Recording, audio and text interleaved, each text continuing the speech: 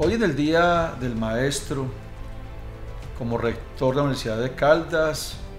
en nombre también de todo mi equipo directivo, queremos darle un saludo a todas las profesoras y profesores de la universidad en su día.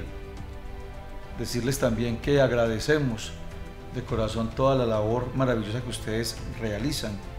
desde la docencia, la investigación y la proyección por forjar proyectos de vida ciertos para nuestros jóvenes. Y de una vez también agradecer